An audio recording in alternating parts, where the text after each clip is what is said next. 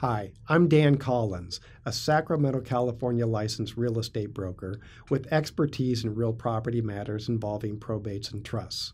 I am also a California licensed general contractor and court appointed receiver for the Superior Court. If you have found yourself tasked with being an executor, administering a probate, or a trustee of a trust estate, I can help you effectively execute your duties that attorneys do not help you with. To learn more, please visit my website, probate-realtor.biz. The title of today's video is Nobody's Home because our subject is about insuring real property in an estate when the property is vacant. Properly insuring a vacant home or income property is one of the riskiest areas of fiduciary responsibility where an estate executor of a probate or a trustee of a trust has fiduciary liability. If you serve as a probate administrator or a trustee, you have a fiduciary obligation to properly insure that high value asset, real property. Your insurance carrier for the home or building that is vacant must be told within 30 days of a property becoming vacant that it is not occupied, or you risk not having otherwise insurable losses covered if you submit a claim. A phone call to your insurance agent informing them the property is or will be vacant is all that's required. You may ask, is it more expensive to insure a home that's vacant? Actually, yes, it can be because fire, vandalism, and burglaries, amongst other bad things, are more likely to happen when nobody's home. If no one lives in the property and a water pipe breaks, it may be days or longer before it is discovered, Whereas if a pipe breaks in a property that is occupied, it may be hours, but it will be discovered usually quickly. So remember, if a home or an income property is vacant, you must have proper insurance coverage in place.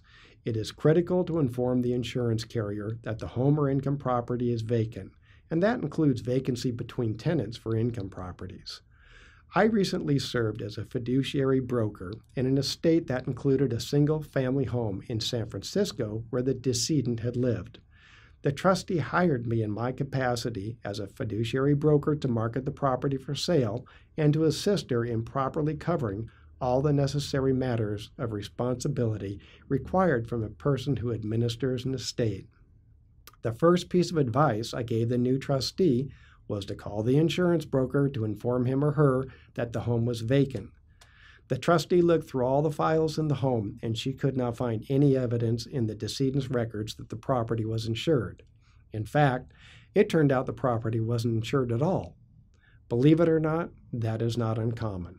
The decedent had no mortgage on the property. She owned it free and clear of debt. Retired people often own their homes outright, free of debt.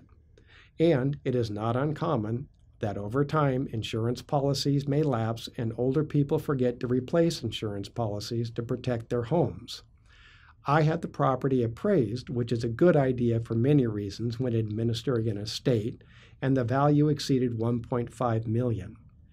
If there had been a catastrophic loss such as a fire and the home had burned down, there would have been no insurance policy in place to replace that valuable asset. I made certain the new insurance policy covered the home as a vacant structure because if that information had not been provided to the insurance broker, the new insurance policy would not have covered the home if it burned down. My name is Dan Collins. I act as a fiduciary broker in probates and trusts that involve real property assets. To learn more, please visit my website, probate-realtor.biz. Thank you for joining me today.